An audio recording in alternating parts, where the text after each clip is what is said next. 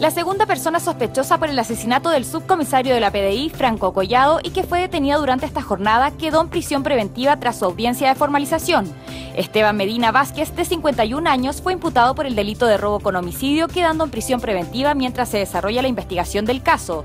Hasta el momento, solo había un imputado en el caso identificado como Carlos Cataldo Saavedra, quien se encuentra arrestado por el hecho.